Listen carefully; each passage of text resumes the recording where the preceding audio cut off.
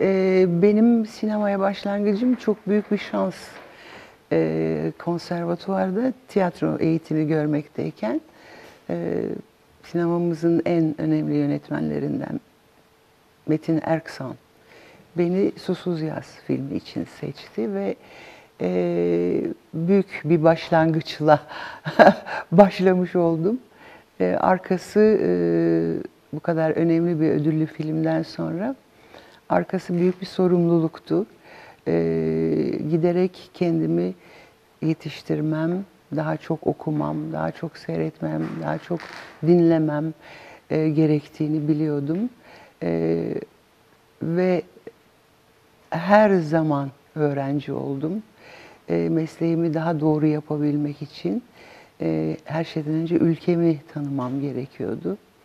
E, çok gezdim, çok okudum, çok dinledim e, ve çok doğru filmler, e, hikayeler anlatmayı seçtim. İlk yıllar e, her şey benim istediğim gibi gitmiyordu. E, Susuz Yaz kadar önemli bir sosyal e, sonu, sorunu e, ele alan bir konuyla karşılaşmak mümkün olmuyordu. E, daha çok e, Amerikan e, filmlerinin adaptasyonları gibi senaryolarla karşılaşıyordum. Halbuki bizim kendi romanlarımız var, kendi yerli yazarlarımız var.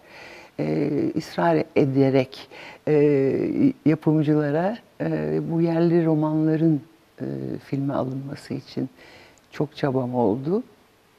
Ee, ve 63 önümüz 2023 60 yıla yakın bir sinema çalışmam var. Çok güzel.